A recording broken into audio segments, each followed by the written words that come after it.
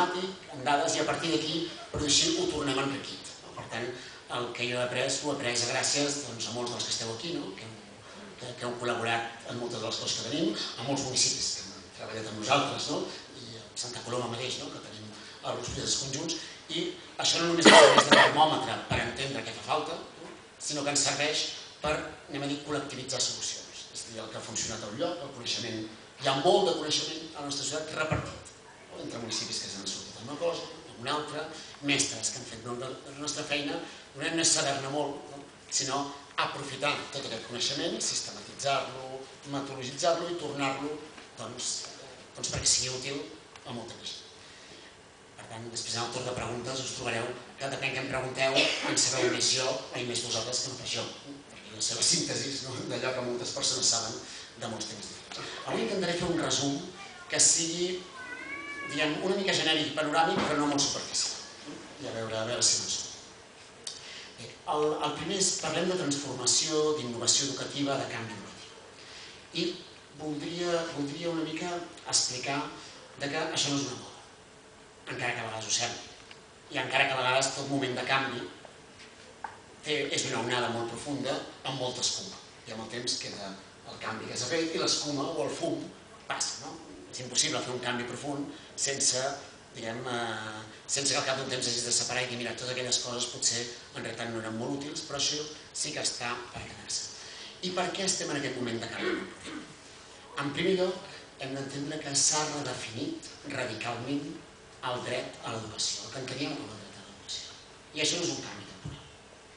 Cada generació de mestres, de tècnics, no, de responsables polítics, té els seus drets. I els que van estar abans de nosaltres, els de la generació anterior i els de fa dues generacions, van aconseguir les seves promocions educatives. Que eren, per exemple, que hi havia escoles dins dels barris, que no n'hi havia. Que a les escoles, per la porta de les escoles, hi poguessin entrar tots els nens i nenes. Fa unes quantes dècades eren un 15%, després van ser un 30%, després un 40% i escaig. Després va costar un 80%. Altres van haver de lluitar perquè les nenes hi poguessin anar tants anys com els nens que era una cosa que no passava. Altres, perquè també les persones fins fa quatre dies, amb alguna discapacitat, tinguessin dret a estar a l'escola amb els seus companys.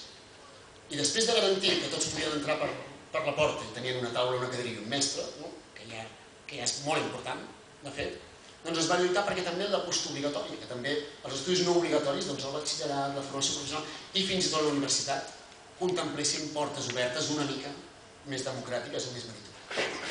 I altres van lluitar perquè el català, l'aprenentatge del català, fos un dret per tothom. Que n'hi haguessin alumnes que perquè tenien pares catalanoparlants dominessin dues llengües i altres només en dominessin. I tot això van ser els reptes de cada generació. I nosaltres hem d'entendre quin és el repte de la nostra generació a nivell educatiu. La UNESCO i la ONU, no, en el pla dels propers 15 anys que han aprovat, el pla mundial, l'agenda mundial de l'educació, en redefinit i han dit el dret a l'educació ja no és el dret a poder entrar en una escola durant X anys i aprendre el que abans es deia els números i les lletres, no? les competències bàsiques, no? matemàtiques, comprensió lectora.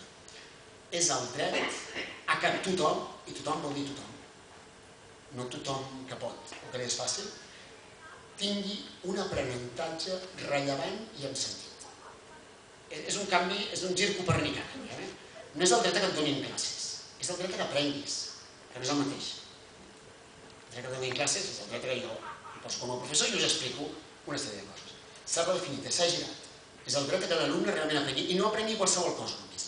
No només les competències bàsiques, que són molt importants, sinó un aprenentatge rellevant socialment, i aquí hem de discutir què vol dir rellevant, i amb sentit per ell, que l'involucri i que pugui desencadenar el seu màxim esforç. Això és un repte i una redefinició molt radical que ens obliga a preguntar on s'aprèn, què s'aprèn, què vol dir ensenyar i què hem d'ensenyar. I en el que ensenyar, la pròpia UNESCO ja fa 20 anys el Delors va dir el gran canvi que li cal a l'educació és el dels quatre pilars. No? Va dir, fins ara ens hem preocupat molt del pilar d'aprendre a conèixer, que és molt important, però va dir l'educació i l'escola s'ha de preocupar també del aprendre, um, aprendre a ser, aprendre a conviure i aprendre a fer. No a conèixer, sinó que això et serveixi per canviar la teva societat, per la feina, no? per pensar qui ets tu, no? per ser més competent en tots els sentits. Clar, això és un, és un gir, una innovació no en el com, sinó fins i tot en el què, en el quin és la nostra feina. Ha canviat una segona cosa. La setmana que ve presentarem unes dades espectaculars d'això. Han explicat, podem dir, les aspiracions socials. Fa unes quantes dècades, els fills de classe obrera, la majoria desitjaven ser obrers. El fill del forner volia ser coses que s'assemblaven al forner. I el fill de paleta desitjava ser una mica més caparat, un paleta qualificat. I el fill d'un metge o d'un notari volien ser coses que s'assemblaven a metge i notari. Havíem ensenyat a cadascú a desitjar allò que era la seva herència familiar.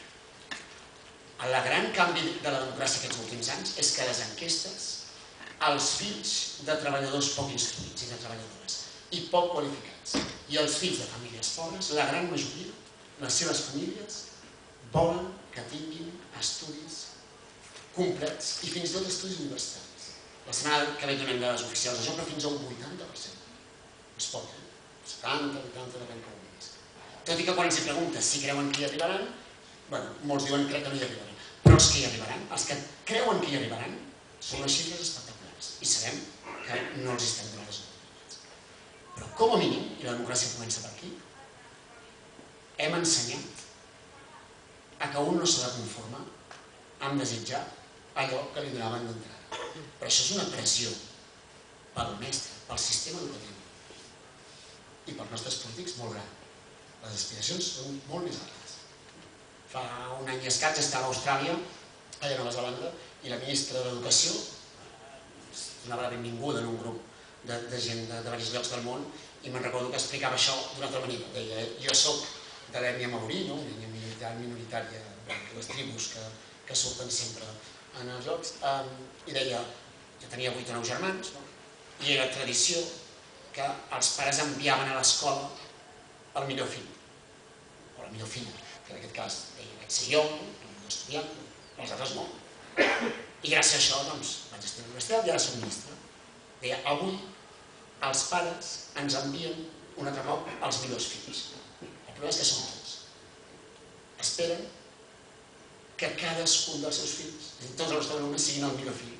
I en traiem exactament el màxim. Això és un gir brutal. En tercer lloc, ha canviat una altra cosa derivada d'això. La diversitat abans era l'excepció. L'excepció que no acceptàvem o l'excepció que gestionàvem compensatòriament. La diversitat ara és la nova normalitat. La diversitat de formes d'aprendre, de tarannars, d'orígens, de nivells socioeconòmics. I per tant, ja no hi ha una excusa. Per faig el que puc per la majoria i els altres fer. Eh, això és, una, i és un estàndard que no s'anirà. En quart lloc, eh, han explosionat el que en diríem competències del segle XX. Les proves PISA, o les competències PISA, no? competència lingüística, matemàtica, tot, és el terra, i tots l'hem d'assolir, perquè un terra sol, però no pot ser el sostre. El sostre són aquestes competències que la societat del coneixement són molt més importants. Cooperació, comunicació, pensament crític, ciutadania, educació del caràcter, que vol dir perseverància. No? Però és que aquestes competències no només són molt importants, juntament amb els coneixements i tota la resta, i crítiques, per tots, eh? per les empreses, per ser un ciutadà, per ser un, individu d'una col·lectivitat, per ser creatiu, sinó que difícilment s'ensenyen escoltant una conferència com estem escoltant a nosaltres. S'aprenen en entorns interactius, vivencials, de prova, socials, amb altres. Per tant, no s'aprenen de qualsevol forma. I per tant, l'escola ja no pot ensenyar com sempre, i el mestre no pot dir la meva autoritat és la de dir selecciono qui pot i qui no pot, o la meva autoritat és la de jo en sé, tu no en saps i l'escola ja, i, i no només l'escola és així, sinó que a més les formes i els llocs on s'aprèn han canviat molt ràpidament. I per això avui es parla de transformació i innovació. Jo voldria només fer un petit incís, de dir, quan parlem de què vol dir innovar o què vol dir transformar l'educació, a vegades sembla que parlem de metodologies extraordinàries, no? que mai hem vist, molt estranyes. El repte de l'innovació i del canvi educatiu a les escoles, després parlarem a nivell local, és un altre tema, és més complex, és més, més ambiciós, és una cosa que fa dècades que es fa no només a món, sinó a Catalunya.